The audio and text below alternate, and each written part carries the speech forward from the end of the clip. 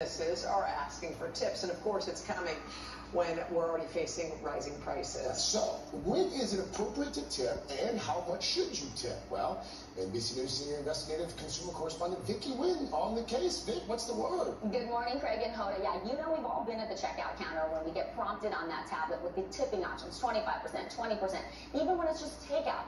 It is causing a lot of people to add that so-called guilt tip to their purchases. And the thing is, it's happening a lot more often at businesses where you wouldn't typically tip. This morning, we have what you need to know about how much you should be adding and also when it's okay to skip that tip. From dine-in restaurants to independent coffee shops and even the vet's office, the pressure to tip has reached a tipping point.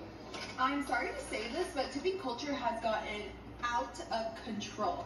Patrons often feel guilted into adding a few bucks to the tab as more places turn to those tablets with preset tipping options. I will be ordering from the kiosk, and the kiosk asks me if I want a tip. Why am I needing a tip? With takeout and delivery booming since the pandemic, many are questioning if tipping is always necessary. I'm not tipping for my food arriving cold so you could make more money. Some service workers are striking back. Videos posting online reportedly show orders piling up for people who don't tip up front. No one in their right mind is going to want to go five plus miles for under $3 pay. And yeah, we could get a cash tip at the end, but it's so rare it's not worth the risk. The reality, delivery drivers earn a base pay. DoorDash says that ranges from 2 to $10 per order, depending on time and distance. And the company says 100% of tips are passed along to drivers.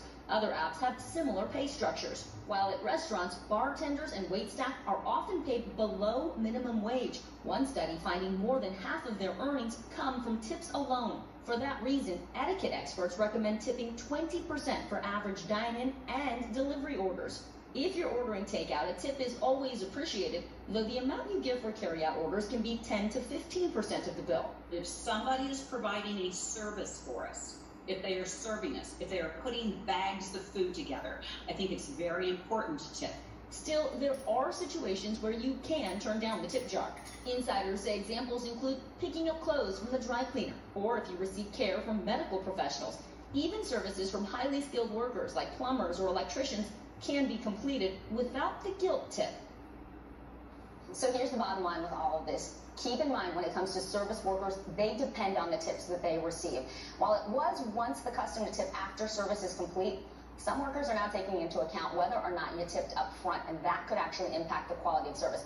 No judgment, but that's just the reality yeah. that people are facing. One great tip I got from Holly, who does our radio show, she was like, just keep some singles, keep some cash on you so you can add something to the tip jar. You don't feel the pressure of adding it to your credit card yeah. or whatever, but at least you're tipping. I remember working at Ponderosa a long time ago, and people, when people didn't tip, you couldn't believe because you were running around. So I always feel like if you have more, give more. If you have less, give, give what you can give. You can. I, especially these guys who are making below minimum. Yeah. Exactly. I mean, that's They're not cool. That money. Yeah. If you can afford to tip. Yeah. Yeah. yeah.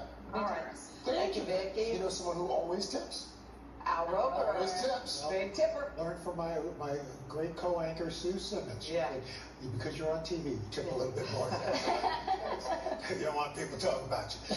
no, so nice. we don't want people talking about you. You know what I'm saying? Okay. Let's be real. Uh, we got some strong.